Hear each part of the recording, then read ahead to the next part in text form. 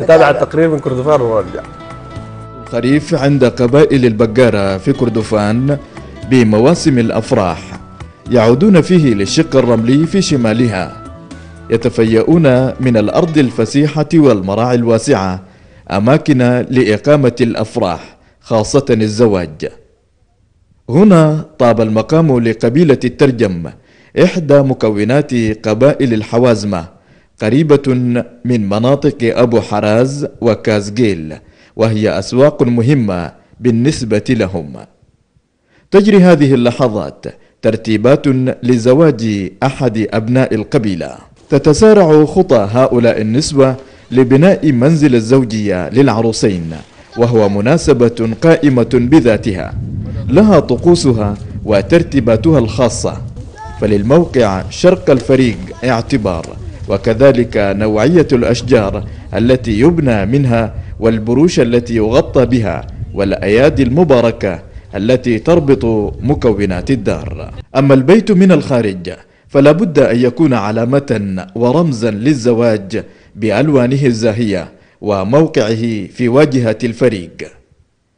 تصحب عملية البناء للبيت بنوعية محددة من الأغاني التي تدعو للزوجين بالسعادة والاستقرار والنماء بعد اكتمال بيت الزوجية يسدل عليه رداء أبيض يجلب خصيصا للمناسبة يسمى الطاقة.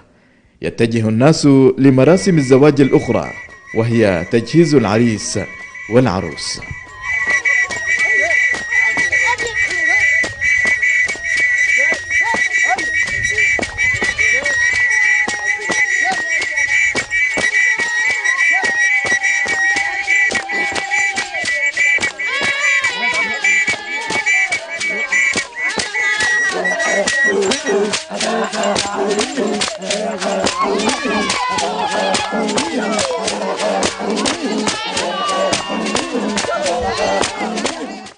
في ليلة الحنة والقدومة دائما ما يحاط العريس بمجموعة من أصدقائه وأبناء وبنات القبيلة.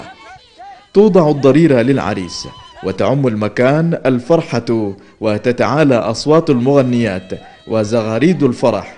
ويعبق المكان بشذا العطور والبخور.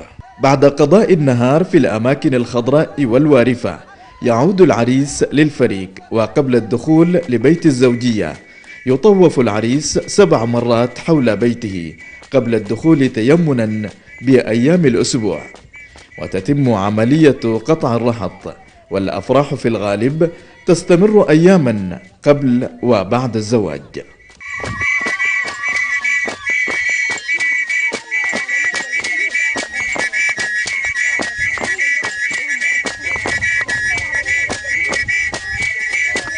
إذا هي أفراح لا تنقطع ترتبط دائما بموسم الخريف عند قبائل البقرة في كردفان. تتجدد حياتهم بالمناسبات السعيدة والأفراح يتزودون لمسيرة العودة جنوبا بكل ما يحتاجونه من الأسواق التي تنتعش بمقدمهم.